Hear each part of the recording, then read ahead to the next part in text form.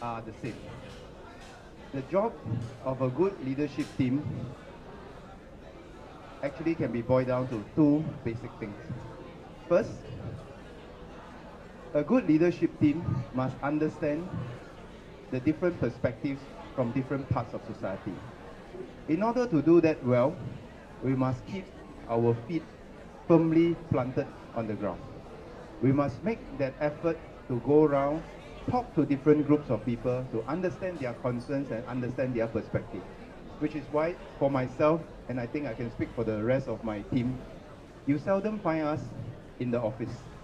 You seldom find us in the office. My PA will tell you that she seldom sees me.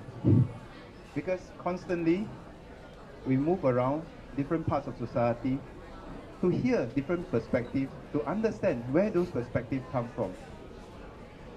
Now, that is the first thing that we must all do. But then there is a second, equally, if not more important, thing that we must do as a leadership team.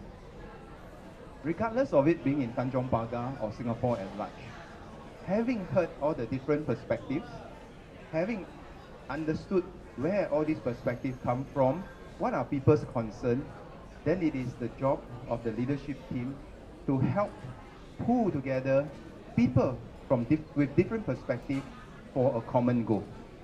This is the same for the 1960s generation. This is the same for our generation. It would not be right, and I would say be wrong for us to assume that we have arrived and we can be complacent, that there are no fault lines in our society at this stage of development every society at every stage of its development has its own challenges. The role of a leader, beyond speaking up for different segments of society, is to pull people together into a united and cohesive force. If we can do that well in Singapore and continue to stay united and nimble, then I think we have every chance of being even more successful in the years to come. If we compare our situation now with the situation back in 1960s, I think we start from a much higher plane. We have much more going for us. If you talk about the Singaporean identity in 1960s, it would be even more difficult because it was we were a newly independent country. What does it mean to be Singaporean is rather amorphous at that point in time. But today, just as we have celebrated our 50th Golden Jubilee, I think the sense of being a Singaporean is much stronger. That while we may have different perspectives, but we all share this common aim. That, to, that is to make Singapore a better home for generations to come. That we will continue to live this dream of ours. That is what we believe in, and I think that's what our residents will also believe in. That is also what I think Singaporeans believe in, regardless of race, language, religion, regardless of our differences in perspective on various issues. But we are all committed and drawn together by this common goal to make and build a better Singapore.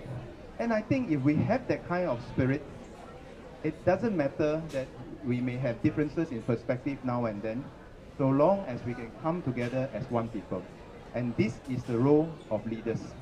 Leaders are not just people that speak up for certain segments of interest across different parts of society.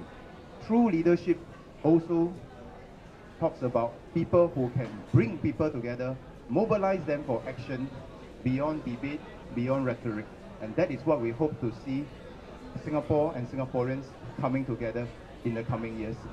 And with that, I hope